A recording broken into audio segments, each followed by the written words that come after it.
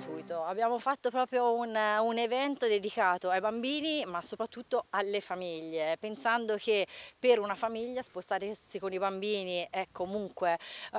un costo e abbiamo voluto regalare alla città e soprattutto ai tanti ospiti e turisti che ci auguriamo che con questo evento siano arrivati a Siena eh, un'iniziativa proprio a misura di famiglia dove tutte le attività in fortezza, quindi spettacoli, visite eccetera saranno gratuite. Poi alcune eh, attività collegate all'evento in fortezza, quali per esempio eh, le visite guidate all'interno del museo civico, saranno naturalmente gratuite ma legate al biglietto del museo civico. Quindi tutti i senesi che avranno voglia di andare a, mm, a vedere le visite guidate con il linguaggio dei bambini, dall'affresco del buon governo e con i giochi eh, potranno entrare gratuitamente perché i residenti non pagano, per i turisti le visite guidate saranno omaggio, un regalo della città e le troveranno con il biglietto del museo civico. Quindi un uh, evento a portata di famiglia che il comune grazie all'imposta di soggiorno e alla Banca Monte dei Paschi ha voluto regalare alla città e ai turisti. Le attività che più di tutti, se attività possiamo chiamarle, però è un'attività imprenditoriale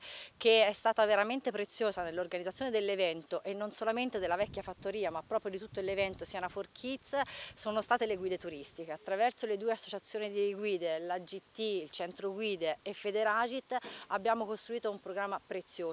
e infatti le visite guidate che appunto saranno gratuite, che partiranno dalla fortezza così come la caccia al tesoro e andranno in città saranno offerte gratuitamente e sono fatte in collaborazione con le guide turistiche, quindi è una categoria imprenditoriale che è stata parte del progetto e lo ha reso veramente possibile. Eh, ci sono stati alcuni operatori eh, del mondo della ristorazione che hanno fatto un menù a misura di bambino, sul sito enjoysiana.it c'è anche la sezione dedicata ai ristoranti e hanno fatto delle proposte, chi eh, pizza e patatine fritte per accontentare eh, appunto il gusto dei bambini o chi ha, ha, declinato per esempio un menù per i grandi ma con i nomi curiosi eh, a misura di bambino, tipo il topino di formaggio o qualcos'altro. Quindi per scoprire questi ristoranti andate nel sito di enjoysiana.it, guardate la sezione e se altri se ne vorranno unire la, il progetto Siena for Kids dura appunto fino a marzo e uno, deve essere uno spunto per gli operatori della città. Alcuni alberghi ho visto guardando eh, che hanno segnalato tutta la rassegna di Siena for Kids facendo delle proposte a misura di famiglia a misura di bambino